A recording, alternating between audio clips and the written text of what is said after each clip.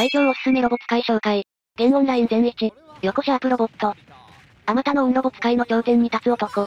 レートは2400、タミスマ優勝前スマ複数回優勝など、オンライン最強にふさわしい実績を持っている。秋田に隔離されているため、大会にはあまり出ていないが、スマッシュ10連覇など安定した実績を残しており、オフでもその強さを示している。女声で配信している途中に親フラに会う伝説の陽子シャープ配信が有名。握りとぶとね。あうまい。勝負しながらも真下京からの押し込み空への横ビーとかね。この駆け足。これが強い。降りて。いやーこのピーム119そい。やー細かい。